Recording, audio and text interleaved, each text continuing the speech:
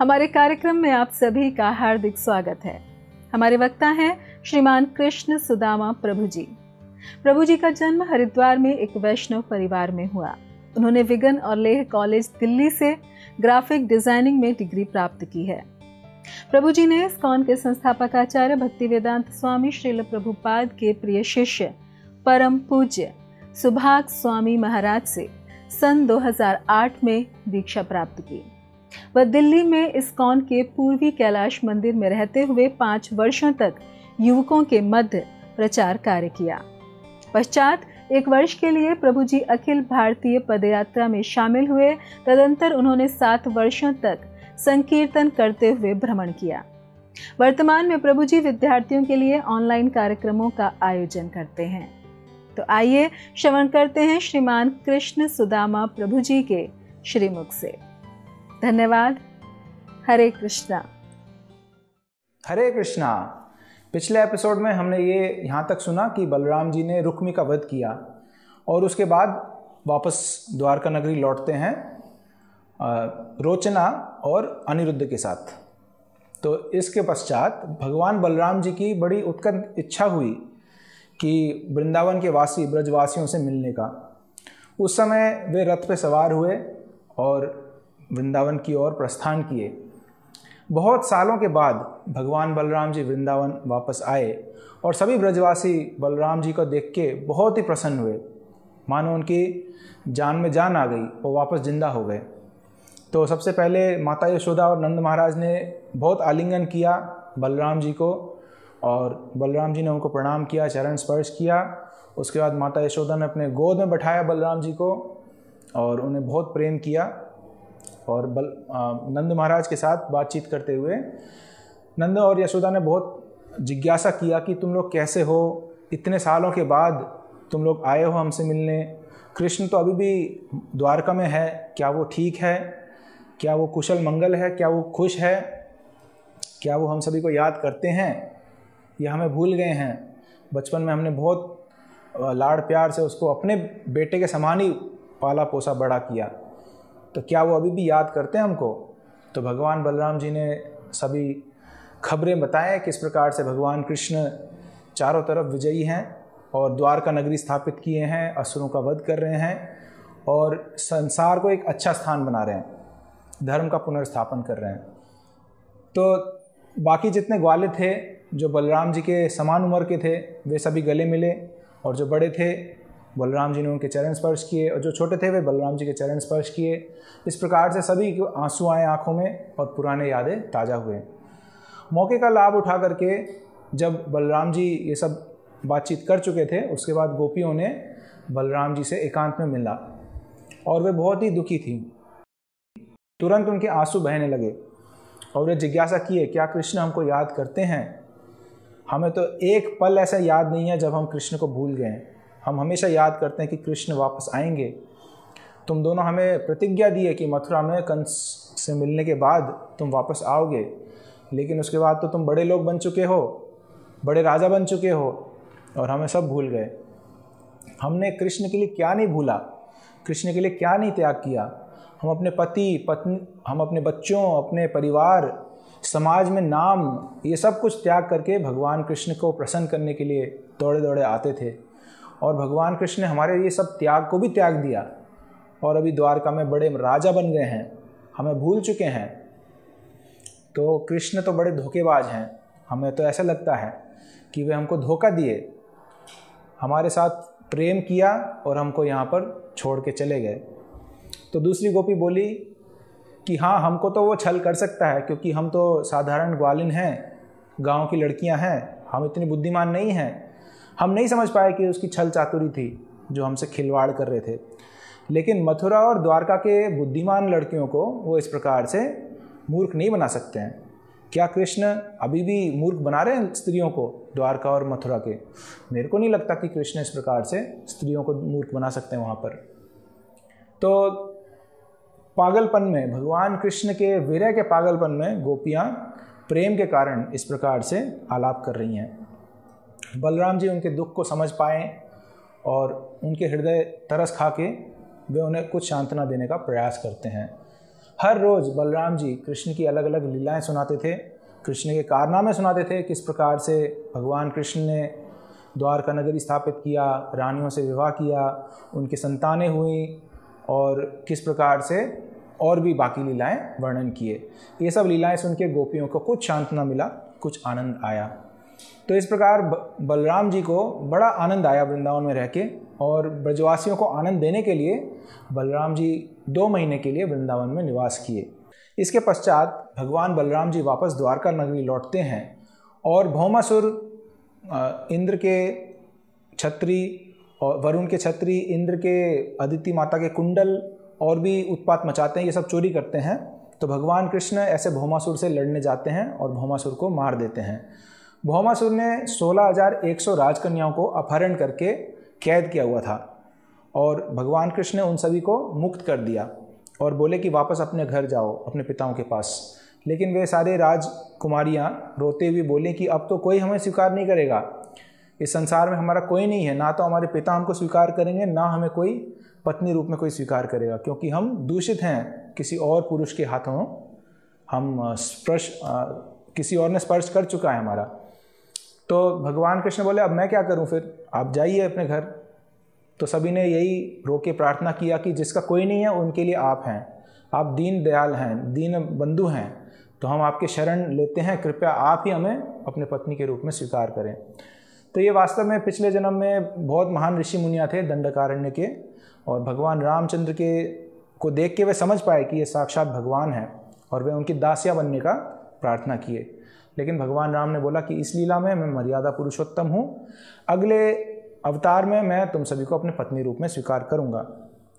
तो ये सभी राजकन्या के रूप में आई और इस प्रकार भगवान कृष्ण ने उन्हें सहारा दिया, उन्हें अपने पत्नियों के रूप में स्वीकार किया।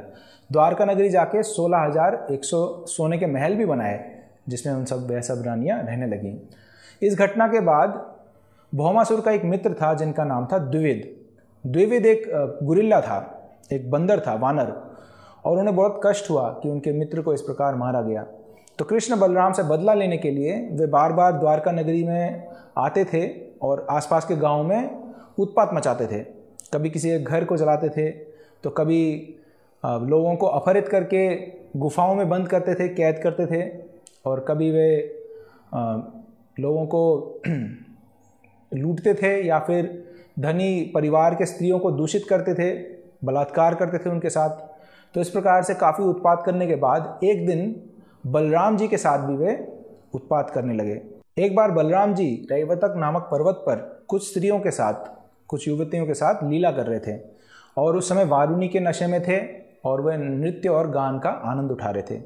उस समय द्विविध गुरिल्ला उधर आकर पेड़ों पे कूदता गया और पेड़ों को हिला हिला के किला किला किला किला, इस प्रकार की आवाज़ें निकाल रहा था। पेड़ों की घर्षण से आवाज़ आ रही थी।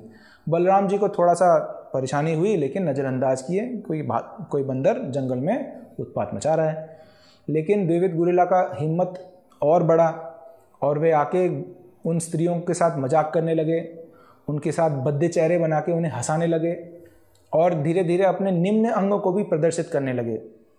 ये देख के बलराम जी को क्रोध आया तो उन्होंने एक पास में पत्थर उठा के उसको फेंक दिया भगाने के लिए। लेकिन उसके बाद द्विविद गुरिल्ला नीचे कूद गया और बलराम जी के वारुणी के बर्तन को चोरी करके ले गया। बलराम जी को क्रोध आया और बलराम जी समझ गए, ये इस तरीके से लातों के भूत बातों से नहीं मानेंगे। तो बलराम जी अपना गदा उठा के युद्ध के लिए तैयार हुए। तो दूसरी ओर द्विविद गुरिल्ला भी एक पूरे मोटे पेड़ को उखाड़ के अपने भाले के रूप में इस्तेमाल किए और दोनों में घमासान युद्ध प्रारंभ हुई। बलराम जी अपने भाले से प्रहार कर रहे हैं और दूसरी ओर द्विविद गुरिल्ला पेड़ के साथ बड़े पेड़ के तने से प्रहार कर रहे हैं। और बार बार उनका जो पेड़ है वो टूट जाता है बलराम जी के गदा के सामने। तो तुरंत वे नया पेड़ उखाड़ते हैं और इस प्रकार कई दिनों तक कई सम, का, काफ़ी समय तक इस प्रकार से युद्ध चलता रहा। एक समय ऐसे आया जब सारे जंगल के पेड़ उखड़ चुके थे और बलराम जी के भाले से टूट चुके थे। तब द्विविद गुरिल्ला ने बड़े बड़े पत्थर उठा के बलराम जी की ओर फेंकने लगे, बलराम जी को कोशिश किए मारने का। तो बलराम जी भी मज़ाक के मूड में एक एक करके भाले से, अपने गदा से उन सभी पत्थरों को मारते गए। जिस प्रकार हम गेंद के साथ खेलते हैं, बल्ला के साथ क्रिकेट खेलते हैं तो उसी प्रकार बलराम जी भी वो बड़े पत्थरों के साथ खेल रहे थे। तो ऐसे करते करते सारे पत्थर भी ख़त्म हो गए। जंगल के सारे पेड़ और सारे बड़े पत्थर ख़त्म हो गए। बलराम जी ने चूर कर दिया उन सबको। तब द्विविद गुरिला अपने मुष्टिक प्रहार किया। अपने हाथों से बलराम जी के छाती में ज़ोर से मारा, लगातार। तो इसके बाद बलराम जी को बहुत गुस्सा आया। बिना समय बर्बाद किए बलराम जी ने अपने गदा से एक ज़ोर से यहाँ पर द्विविद गुरिल्ला के कंधे पर दे मारा और तुरंत उसको चक्कर आया द्विविद गुरिल्ला को और वो गिर गया। और खून की उल्टियाँ करने लगा और उसके बाद प्राण त्याग दिए। तो इस प्रकार द्विविद गुरिल्ला का अंत किया भगवान बलराम ने। जब बलराम जी की छोटे बहन सुभद्रा का विवाह का उम्र हो गया, तब भगवान बलराम जी उनका विवाह दुर्योधन के साथ तय कराना चाहते थे। लेकिन सुभद्रा की इच्छा थी कि वे अर्जुन के साथ विवाह करें। उस समय अर्जुन वनवास में थे और वे तीर्थ यात्रा पर निकले हुए थे। तो वे प्रभास क्षेत्र में, द्वारका नगरी में आए हुए थे और एक सन्यासी का रूप धारण करके वे बार बार प्रयास कर रहे थे किस प्रकार सुभद्रा से मिला जाए। उसी समय भगवान बलराम जी हर रोज़ अलग अलग सन्यासियों को अपने घर बुलाया करते थे, भोजन के लिए, सेवा के लिए। तो एक दिन वे अर्जुन को भी बुलाए, जो सन्यासी रूप में थे। और अर्जुन जब आए घर में तो सुभद्रा भी वहाँ पे थी उपस्थित। तो अर्जुन जो है, सुभद्रा की ओर देखते ही रह गए। वो बार बार खाने की ओर ना देख के, सुभद्रा की ओर देखते रहे।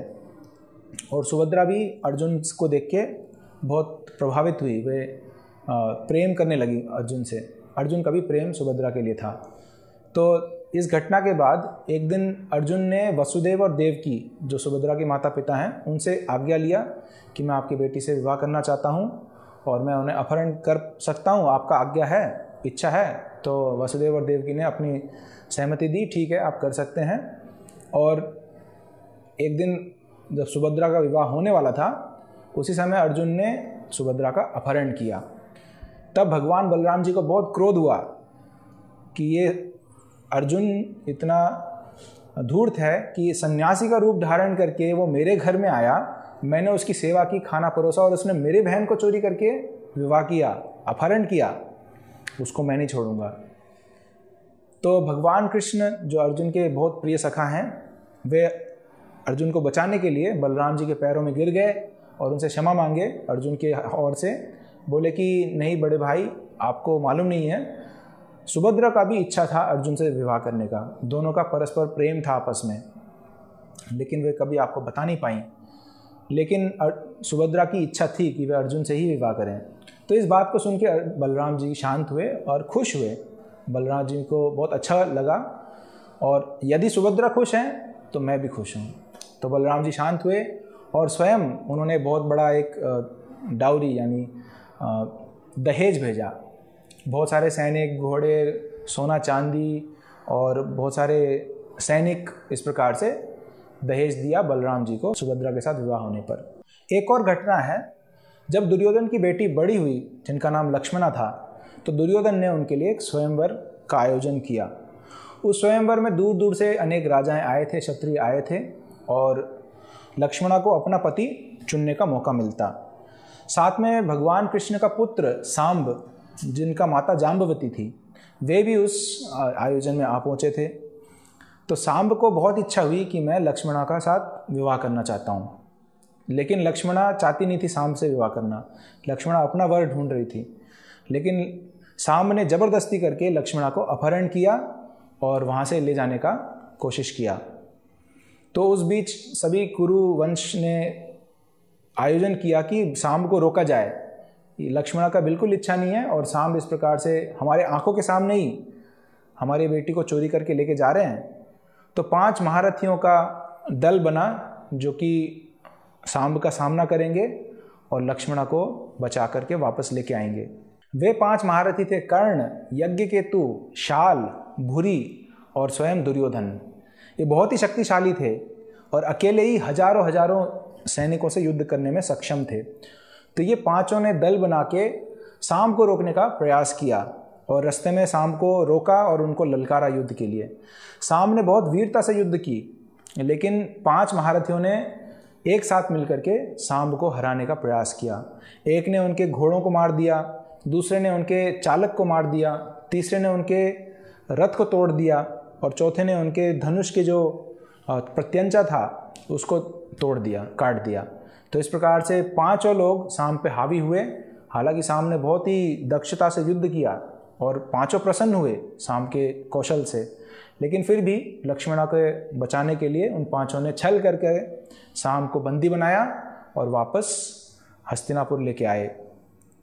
जब कृष्ण और बलराम को ये बात पता चली कि शाम को बंदी बनाया है तो वे महाराज उग्रसेन से विचार विमर्श करके कुरु राष्ट्र पर हमला बोलने को तैयार हो गए। या तो शाम को छोड़ा जाए, वापस दिया जाए, नहीं तो फिर हम युद्ध करेंगे। तो भगवान बलराम जी की इच्छा हुई कि इस युद्ध को टाला जाए। क्यों ये दोनों परिवार जो कि आपस में अच्छे संबंध हैं, क्यों इनके संबंध को बिगाड़ा जाए, क्यों लोगों की हत्या की जाए और कोशिश किया जाए शांति दूत बन के बलराम जी जा कर के एक बार कुरु राष्ट्र से बात करने को तैयार हुए। तो उग्रसेन महाराज से आज्ञा लेकर के और कुछ योग्य ब्राह्मणों के साथ और कुछ यदु, जो वृद्ध यदुवंश के लोग थे, उम्र के लोग थे, बुद्धिमान, उनको लेकर के उद्धव के साथ भगवान बलराम जी गए हस्तिनापुर की ओर। हस्तिनापुर के बाहर बलराम जी ने अपना शिविर लगाया और उद्धव को भेजे कि आप जाके महाराज धृतराष्ट्र को निवेदन करें कि हम मिलने आए हैं हमसे आके मिलें बात करें। तो अगले दिन दुर्योधन और महाराज धृतराष्ट्र और सारे आ, सारे कौरव आए और बहुत प्रसन्न हुए। बलराम जी का स्वागत किया। बलराम जी का अर्घ्य पान कराया उनका आरती करने के बाद बताया कि बताइए क्या प्रस्तावना है या क्या बात करना है आपको? तो बलराम जी बहुत गंभीर होकर बोले कि देखिए, मैं दोनों पक्षों के हित के लिए बता रहा हूँ कि आपने जिस प्रकार सांब का छल पूर्वक सांब को बंदी बनाया है और उसको यहाँ पे गिरफ़्तार करके रखा है, ये युद्ध का कारण बनेगा और युद्ध की तैयारियाँ हो रही हैं। मैं चाहता हूँ कि युद्ध को टाला जाए, क्यों? बिना कारण से युद्ध हो। तो इसीलिए अच्छा यही होगा कि तुम सब सांब को लक्ष्मणा के साथ मेरे को प्रस्तुत करो उनका विवाह कराओ और वापस वे द्वारका जाएँ। इससे दोनों पक्षों का कल्याण होगा। जब कुरुओं ने ये बात सुनी तो बहुत ही क्रोधित हुए और बहुत अहंकार में आके बोले या, यादवों की बुराई करने लगे। बोले कि हमारे कारण ही यादव लोग आज शक्ति में हैं। हमसे इन्होंने विवाह संबंध बनाया है यादवों ने कौरवों के साथ और उस कारण से ये सोच रहे हैं कि अब ये बराबर हो चुके हैं कौरवों के। हमारे दया पे जी रहे हैं ये। हमने उनको राज्य करने के लिए स्थान दिया है और हमने उनको अवसर दिया कि वह राज चिन्ह धारण करें, सफ़ेद छतरी और सिंहासन पर बैठना और चंवर का इस्तेमाल करना। ये केवल हमारे अधिकार हैं, लेकिन हमारे दया पर इनको भी हमने इस्तेमाल करने दिया। लेकिन ये देखो, ये जूते का स्थान, जूते का स्थान में हैं ये लोग, लेकिन अभी आके ये मुकुट के स्थान में बैठना चाहते हैं। कि हमसे भी बड़े बनना चाहते हैं, हमको आके ये बताना चाहते हैं क्या करना है, क्या नहीं करना है। तो इस प्रकार से बहुत निंदा किए, बहुत अपमान किए यदुवंश का, बलराम जी का, और बलराम जी सहन करते रहे। लेकिन जब बहुत ज़्यादा हो गया, तब कुरु जो है वापस अपने हस्तिनापुर गए तो बलराम जी को पीछे से क्रोध बढ़ता गया बढ़ता गया, और उन्हें बहुत क्रोध आया। फिर उनसे रहा नहीं गया। वे भी बोलने लगे, ये लोग अपने आप को क्या समझते हैं? ये जानते नहीं है कि इंद्र और जितने आदि देवता लोग हैं, भगवान कृष्ण के दया पर जी रहे हैं। भगवान कृष्ण ने ज़बरदस्ती करके इंद्रलोक से या स्वर्ग से जो उनका सुधर्मा राजसभा है और जो उनका पारिजात वृक्ष है, वो ज़बरदस्ती पृथ्वी पर लाके इस्तेमाल कर रहे हैं। भगवान इंद्र भी, इन देवता इंद्र भी उनको रोक नहीं पाए और ये लोग ऐसे बर्ताव कर रहे हैं हमारे साथ। क्या ये भूल चुके हैं कि भगवान कृष्ण ही परम भगवान हैं? इस प्रकार के धूर्त हैं ये लोग। इनका तो और कुछ हो नहीं सकता। ये लातों के भूत हैं, बातों से नहीं मानेंगे। और बलराम जी का क्रोध बढ़ता गया। उन्होंने फिर से यही किया अपने हल से। उन्होंने ये सोचा कि अभी मैं तुम्हारे पूरे, तुम हस्तिनापुर के, हस्तिनापुर में रहकर तुम बड़े घमंडी बन चुके हो। तुम्हारे घमंड का कारण मैं अभी नष्ट करता हूँ। पूरे हस्तिनापुर को मैं गंगा में डुबाता हूँ अभी। और अपने हल से हस्तिनापुर में ज़ोर से मारे। और उसको खींचने लगे अपने तरफ़। तो इतने में पूरे हस्तिनापुर में बहुत उथल पुथल होने लगा, भूकंप आया, पूरा शहर हिलने लगा और गंगा जी का पानी उस समय, अभी यमुना जी बहती हैं दिल्ली के पास, हस्तिनापुर, लेकिन उस समय गंगा जी के नाम से जानी जाती थी। और ये गंगा और यमुना दोनों नदियों का स्रोत एक ही है, हिमालय से आते हैं तो उस समय गंगा नाम से जाना जाता था। तो गंगा जी मैं डुबा दूँगा। तो गंगा जी जो है वो आने लग गई हस्तिनापुर के अंदर और सभी कुरु रा, कुरु राष्ट्र के जो मुख्य लोग थे दुर्योधन थे और महाराज धृतराष्ट्र थे भीष्म थे अर्जुन थे ये सबको होश आया और वह दौड़े दौड़े आए बलराम जी के पास और सामने लक्ष्मणा और सांब सांब और लक्ष्मणा को सामने रखते हुए वे आए बलराम जी से प्रार्थना किए कि आप ही पर भगवान है, हम भूल चुके थे और हम, हमने गलती की जो आपकी निंदा किया, आपकी बात को स्वीकार नहीं किया, लेकिन हमें क्षमा करें। अभी हम आपके शरणागत हैं। आप अपने पौत्र और उनकी पत्नी लक्ष्मणा को आप स्वीकार करें शाम को, और आप वापस द्वारका नगरी प्रस्थान करें। तो क्षत्रियों में इस प्रकार से होता है। जब विवाह होता है तो जो लड़की वाले हैं, वो लड़के वालों के साथ मज़ाक करते हैं। और वे देखना चाहते हैं कि कितना शक्ति है उनमें। जो हमारा दामाद है, उनका कितना शक्ति है, उनके परिवार का कितना शक्ति है। तो इस प्रकार से ये लीला घटित हुई। तो इसमें कोई हैरानी की बात नहीं है, ये क्षत्रियों में आम है। सांब और लक्ष्मणा का विवाह उधर ही हुआ, दुर्योधन और बलराम जी के सामने ही। और दुर्योधन बहुत प्रसन्न हुए और उन्होंने बहुत ही बड़ा एक, डाउरी, यानी एक, दहेज दिया लक्ष्मणा को और सांब को। और इस दहेज को और लक्ष्मणा सांब के साथ बलराम जी वापस द्वारका नगरी को प्रस्थान करते हैं। तो आगे की लीलाएँ अगले बार हम सुनेंगे बलराम जी की दिव्य लीलाओं में। हरे कृष्णा। ऐसे ही और भक्तिमय कार्यक्रमों के लिए देखिए हरे कृष्णा टेलीविज़न और इसे प्राप्त करने के लिए आप अपने केबल अथवा डीटीएच ऑपरेटर से संपर्क करें तथा और अधिक जानकारी के लिए आज ही डायल करें seven triple six eight three nine eight three nine